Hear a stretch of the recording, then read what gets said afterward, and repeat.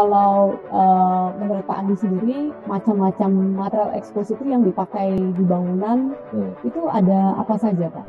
Memang kebetulan uh, kita hmm. juga kan dari Demix itu memang mengadop hal yang sama sih Pak. Hmm. Jadi kita punya produk dan kita juga berusaha mengadopsi teknologi-teknologi yang terkini yang mempermudah gitu ya.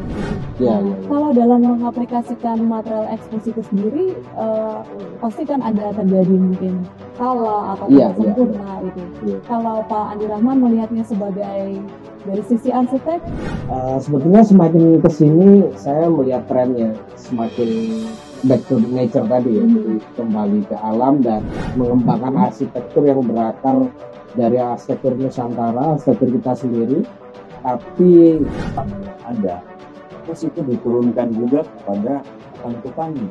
Yeah. Bagaimana tukang-tukang itu bisa memasang dengan benar.